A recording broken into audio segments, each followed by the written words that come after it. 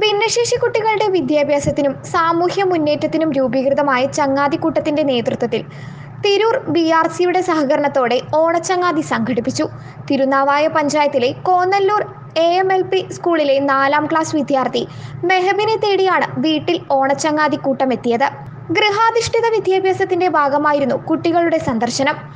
മെഹബിന്റെ വീട്ടിൽ പൂക്കളം ഒരുക്കിയ ചങ്ങാതിക്കൂട്ടം വിവിധ കലാപരിപാടികൾ സംഘടിപ്പിച്ചു.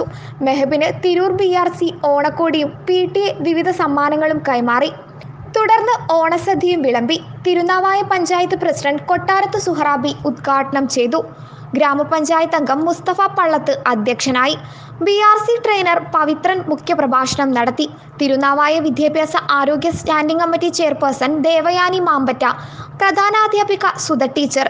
Special educator Lija teacher.